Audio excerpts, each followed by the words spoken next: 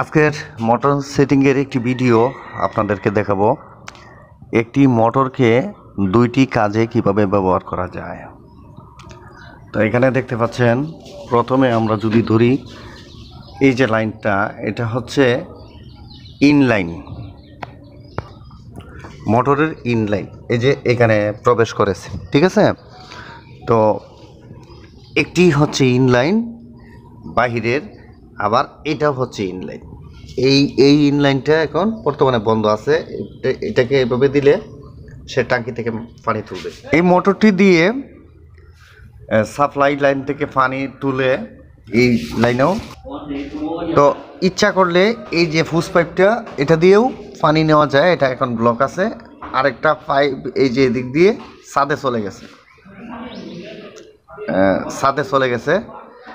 আর এই যে এটা হচ্ছে ইনলাইন ইনলাইন এই এই পাইপটা এইটা এখন বন্ধ আছে। এটা যদি এটা অফ করা লাগবে না, এটা যেহেতু সাদে এটা ছেড়ে দিলে সরাসরি টাঙ্কিতে এসে পানি পড়ে।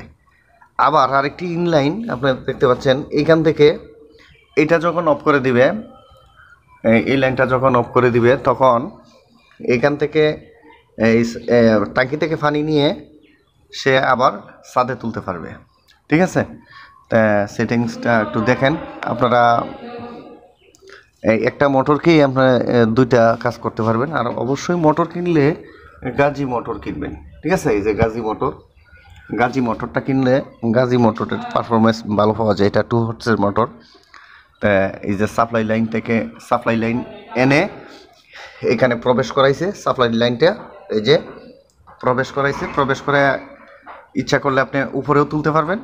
না হয়, এর টাঙ্কিতেও তুলতে পারবেন। এরপরে যখন এখানে পানি থাকবে না, রিজার্ভ সাপ্লাই লাইনে, তখন এই টাঙ্কি থেকে পানি আপনার ব্যবহার করা যাবে আর কি উপরে। এই হচ্ছে সেটিং। তো সেটিংয়ের মধ্যে চাবি কয়টা ব্যবহার করা হয়েছে? এই যদি এটা দিয়ে পানি ইন হয়, তাহলে এই চাবিটা অফ থাকে। আবার এটা দিয়ে যদি আসে পানি এটা দিয়ে, তাহলে এই চাবিটা অফ হয়ে থাকে।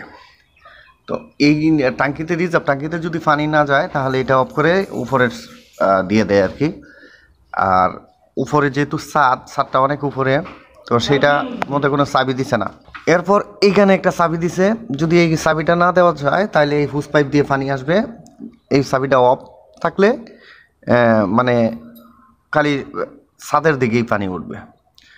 তো একটা মোটর দিয়ে সরাসরি ছাদে যদি দুইতলা হয়, তাহলে নেওয়া যায়। এখানে যদি অপরন্ত পানি থাকে, আর যদি না থাকে, ছাদ যদি পাঁচতলা হয় বিল্ডিংয়ের, তাহলে এইখান থেকে পানিটা ওই দিক দিয়ে পানি আইনে, এইখান দিয়ে রিজার্ভ টাঙ্কিতে জমাবে। আবার রিজার্ভ রিজার্ভ টাঙ্কিতে এই এই পাইপ দিয়ে জমাবে, এই পাইপ দিয়ে। আবার এটাও রিজার্ভ টাঙ্কি থেকে তুলে আবার আবার ছাদে নেওয়া যাবে। এই সেটিংটা আমরা একটু দূর থেকে দেখাই। এই যে দেখেন। তো খুবই ভালো লাগল যাদের এই ধরনের কাজ করার প্রয়োজন, তারা অবশ্যই সেটিংটা দেখে করতে পারেন। আর যারা ভবিষ্যতে কাজ করবেন করবেন মনে হয়, তারা এই ভিডিওটা আপনাদের টাইম লাইনে শেয়ার করে রাখতে পারেন বুঝার জন্য। তো ধন্যবাদ, আজকের ভিডিও এই পর্যন্তই। ভালো থাকবেন সবাই, আসসালামু আলাইকুম।